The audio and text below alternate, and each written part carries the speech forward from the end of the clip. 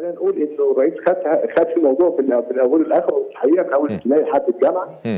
وكمان مرور بالتعليم الفني. والحقيقة يمكن أنا بس هقف ثانية عند آه، فكرة السيد الرئيس ودعمه لإنشاء 100 مدرسة متميزة. في وزارة التربيه والتعليم آه، ويمكن الرقم آه، يمكن بس بشرى للسيد الرئيس والمشاهدين إنه يمكن الرقم اللي قال السيد الرئيس 15 مليار يمكن ده كان بس ما أعرفش الاحتمالات يمكن يعني شوية كده لكنه في الحقيقة لو كان الفصل واحد. بيتكلف مليون جنيه حتى هو طبعا ده تكلفة كبيرة. فاحنا عندنا مدرسة 30 فصل فالمدرسه 30 مليون عندنا 100 مدرسة يعني 3 مليار جنيه مش مم. يعني أقل يعني تقريبا 20% من التكلفة اللي ده أنا ده جنوب عن كرمه. ويمكن بدل 100 مدرسة يبقى عندنا 200 مدرسة 300 مدرسة ولا حاجة تمام. آه، دي نقطة لكنه ده بيعكس؟ بيعكس اهتمام الرئيس مش بس بالتعليم كتعليم مجرد كلمه تعليم لكنه كمان التميز في التعليم ويمكن دي واحدة من معايير الت- ال- ال- التعليم في العالم دلوقتي كله التعليم ده لازم يقدم بجودة. وبعدالة وبتكافؤ فرص للجميع. تمام. الرئيس لما بيخلي الدولة نفسها تساهم بهذا الرقم الكبير في التمويل 100 مدرسة ده معناه إنه الدولة لا تبخل ابدا على يعني آه، طبعا الرئيس قال النهارده كمان الميزانيات لسه قدامنا كتير قوي لكنه الدولة بتقدم كل ما تستطيع في هذه الازمه الاقتصاديه اللي بنمر بها كمان يعني. تمام. ده بالنسبة للتعليم الابتدائي ال- التعليم ال- ال- الفني ويمكن سعيد جدا بمبادره الجين زد آه عايزين عايزين نشرحها للناس يا دكتور لأن في ناس كتير قوي ما تعرفش طيب هو هي. هي هي بتتحدث عن إنشاء الجامعات التكنولوجية وده يمكن ليه علاقة كمان بالجزء اللي هنتكلم فيه الت- التعليم العالي والتخصصات. وفرص العمل والتعليم من أجل فرص عمل المستقبل آه، ال- التعليم التكنولوجي عارفين الدولة دلوقتي داخله داخلة بقوة فيه وأنشأت لحد دلوقتي 11 جامعة تكنولوجية وفي الطريق كمان عدد منهم حوالي سبع ستة أو سبعة عشان يبقى المجموع 17 جامعة تكنولوجية بت- وبتساهم فيهم تحيا مصر بتقريبا 50% من التكلفة. تمام ده عشان إيه؟ عشان يخرج أجيال من ال- ال- ال- الخريجين اللي بيمتهنوا مهن بيطلبها مستقبل فرص العمل. اللي هو بنسميهم آه، التقني يا دكتور أحمد التقني آه خريج التعليم التقني اللي هو آه. التكنولوجيا والتقني. السيد الرئيس النهارده اتكلم وقال إن إحنا يمكن وده حقيقي في العالم كله دلوقتي التعليم النظري في كليات الأداب والتجارة والصحيح مطلوبة وكل حاجة ما حد يقول إنها الطلب عليها بينتهي، الأعداد، لكن هي- آه. لكن الأعداد بدل ما بنودي فيها 100 آه، 100000 مثلا كفاية قوي ندي 50000 ثم نتوجه بال 50000 التانيين دول مم. بالتعليم التكنولوجي أو التعليم التقني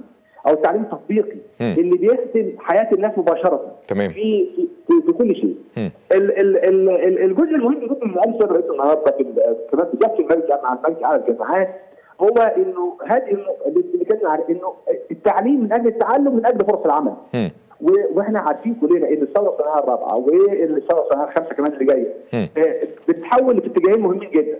اتجاه الرقمنه اللي هو الديجيتاليزيشن اللي بيسموه باللغة الإنجليزية اللي هو التحول الرقمي ثم كمان التحول الأخضر. إنه آه، آه، التعليم لازم يخدم فرص عمل المستقبل في ال- اللي هي الخضراء اللي هي بت- بت- بت- بتكسب الطلاب بتوعنا آه، المهارات الخضراء. إنه إنه العالم ده يتوافق بيئيا مع متطلبات واحتياجاته لأنه إحنا شايفين كلنا إنه مدى الكوارث البيئية اللي بتحصل دلوقتي نتيجة التغيرات المناخيه الكبيره جدا عبر ال 100 سنة اللي فاتوا.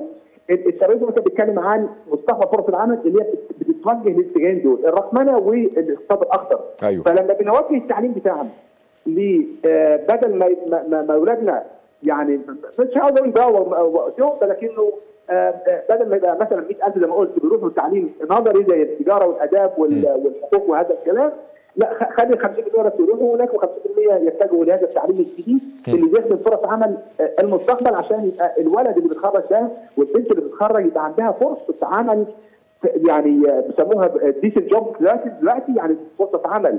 آه، آه، تديهم مقابل آه، لائق لائق. يواجهوا آه يواجهوا الحياة بيها آه، ومتطلبات بالظبط- الحياة بيها بالظبط كده. بالظبط يقدر يقدر يعني يقدر يبدا يبدا حياته ويبدا ياسس اسره ويبدأ عنده فرصة عمل آه، طبعا ده و و وخلينا يا دكتور أحمد عشان برضو نبقى أكثر توضيحا وعملية وعذرا لمقاطعة حضرتك هنا. النهارده الشاب بيتخرج لو الوظيفة التقليدية للكلية التقليدية يجي يقول لك أنا هجيب شقة إزاي؟ أنا هرتبط إزاي؟ أنا مش عارف أيوة. هعمل إيه؟ لكن إحنا محتاجين هذا عشان تعرف تجيب شقة إزاي وترتبط دوت إزاي ويبقى دخلك محترم تعرف تعيش عيشة كويسة صح كده؟ هو ده هو هو ده هو ده بالظبط يعني السيد الرئيس كان بيقصده النهارده. إن أنت حتى لو اشتغل لو رحت وكنت آداب أو كده واشتغلت. هتشتغل مثلا ب 2000 جنيه ولا 3000 جنيه في الشهر. أما دي مش حاجة دلوقتي.